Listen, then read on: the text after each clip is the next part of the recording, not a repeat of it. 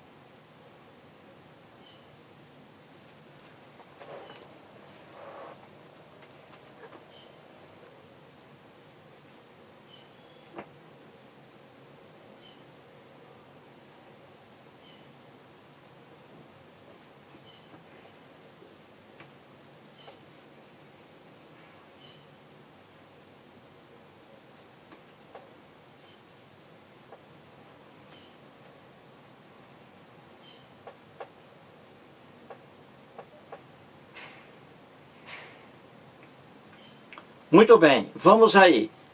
Em relação ao plural do substantivo, assinale a alternativa incorreta.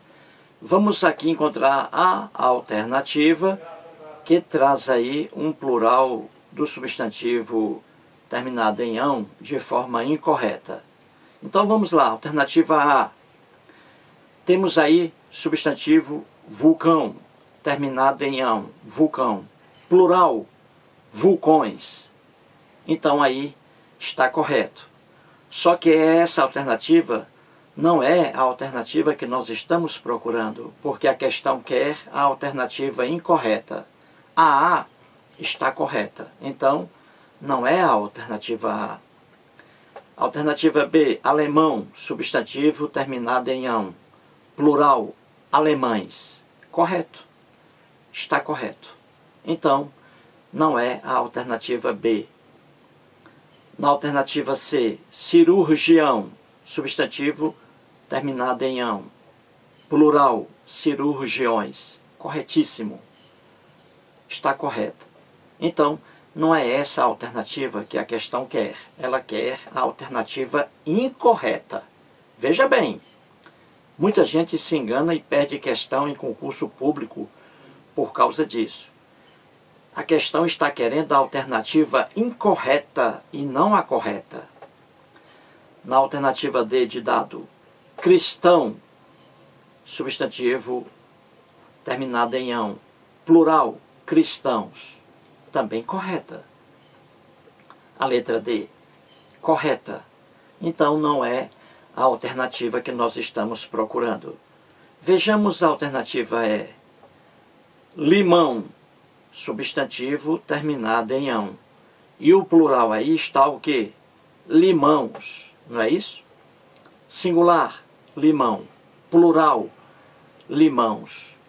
Pois aí está o erro. O plural de limão é limões. Limão, singular. Limões, ons, plural. Aí está limãos. Errado. Então, a alternativa é, é a única alternativa aí que está correta em relação ao que a questão quer. Ela quer que você encontre a alternativa incorreta, aquela que traga o plural do substantivo limão, terminado em ão, incorreto. E é essa alternativa é. Você marca aí a alternativa é. O plural de limão é limões, limões, e não limãos, como aí está. Portanto, mais um vídeo e muito obrigado.